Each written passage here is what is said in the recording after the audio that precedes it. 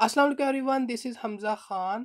आज के हम वीडियो में बात करने जा रहे हैं एक ऐसे फार्मूला के बारे में कि अगर आप उस फार्मूला को अपनी लाइफ़ के अंदर इम्प्लीमेंट कर लेते हैं तो आप अपने गोल्स को अचीव कर सकते हैं। बिकॉज़ ये वो फार्मूला है कि जो हमें, हमारे गोल को अकम्प्लिश करने के अंदर हेल्प करता है।